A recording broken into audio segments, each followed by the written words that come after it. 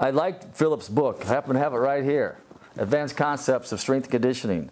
It has, uh, it's a very detailed book. I really enjoyed it, and it's a reference book. It's not just a book that you uh, want to pick up and just strum through. There's a lot of things that, on a practical aspect, that a strength coach needs to do, needs to understand.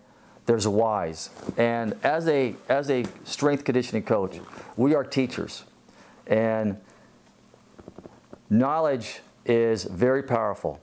And as a strength conditioning coach, we have to sell our program every day. We have to sell it to our bosses or sell it to our clients or anybody who's watching. We are salesmen. We are salespeople. We have to.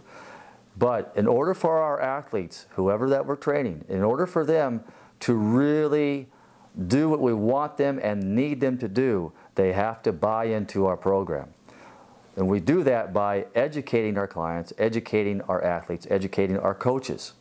So that's one thing that Philip did with this book.